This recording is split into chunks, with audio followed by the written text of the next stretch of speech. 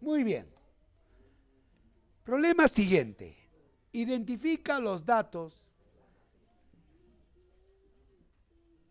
del trapecio ABCD, donde MQ, MQ es igual a 16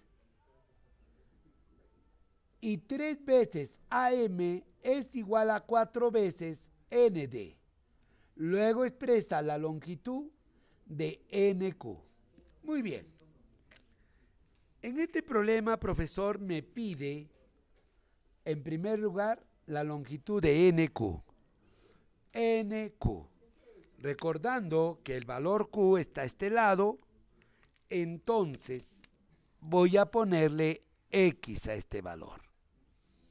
Me dice, por otro lado, profesor, que el valor MQ es 16. Esto vale 16.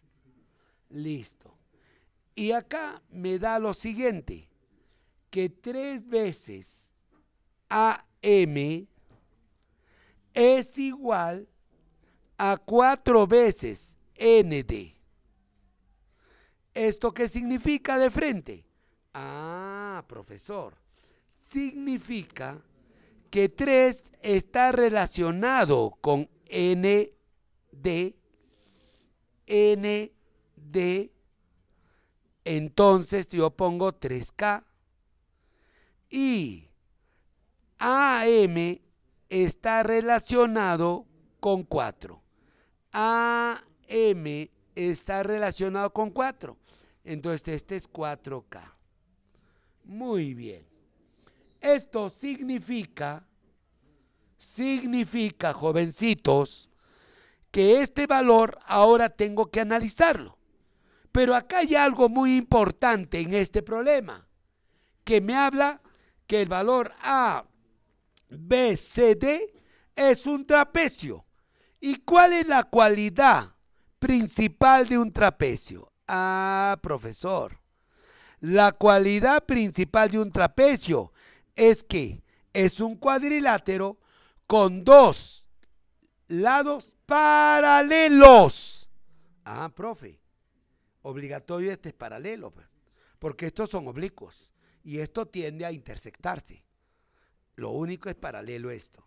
Y si es paralelo estas dos porciones, ah, profesor, rectas paralelas con una secante. Si este ángulo es alfa, este también es alfa. Alterno, externo. Ah, ya, este es tita. Entonces, esto es tita. Este es W. Ah, profe, esto es W. Resuelto el problema, profesor. ¿Por qué? ¿Por qué dice que está resuelto el problema? Porque ángulos iguales en un triángulo se oponen lados iguales. Este es 4K. Al ángulos iguales se oponen lados iguales. Y esto vale 3K. Y si miro esta recta, estoy recordando el gran teorema de Tales. Ah, ya.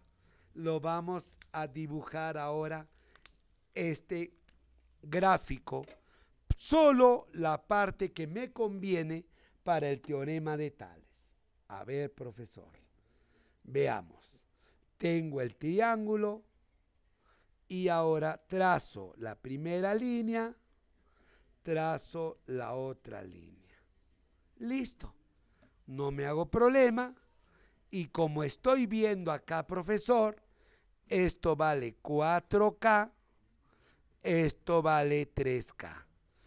Esto vale 16 y esto X. Y como quiero hallar X, él es a él como él es a él. Listo. Entonces diría, X es a 3, ya no le pongo K porque voy a simplificar, es 16 es a 4. Cuarta 1, cuarta 4, X igual 3 por 4, 12. La respuesta.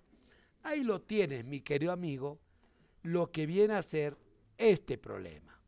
Recuerda, lo que Dios nos brinda como naturaleza, protégelo y consérvalo para dar la herencia a los hijos de nuestros hijos. Tu amigo, el ingeniero Dino Sánchez Padilla.